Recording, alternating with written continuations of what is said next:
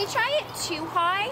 The day before the Field Trip Music Festival opens its doors, putting the stages and tents together is the easy part. Not so easy?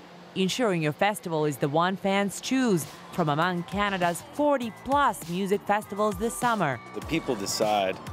So we'll see. I felt that in the last three weeks there was a lot of festivals within the same basic music genre. And this year, big international festival promoters have joined the already crowded field. There's UK's Bestival, originally on the Isle of Wight, now on Toronto Island as well. And a new Canadian festival with a major American connection. 80% of first year festivals fail. WayHome Festival tried to avoid that fate by partnering up with Bonnaroo, one of the best attended fests in the US.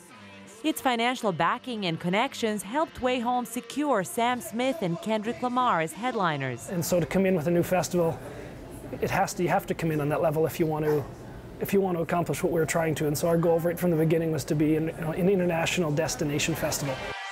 These A-listers demand A-list fees, which drive up the ticket price for the festival goer.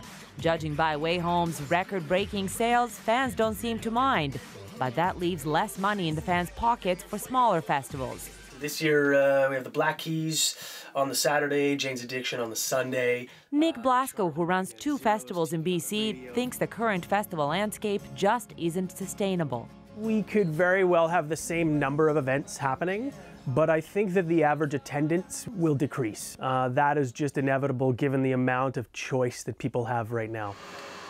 The founders of Field Trip say they have another survival tactic free admission for kids under 12 and children's performers as well as indie rock bands. Know, we wanted an environment where uh, parents could come and you could have your kid in one hand and a beer in the other hand, and both of you are having a great time.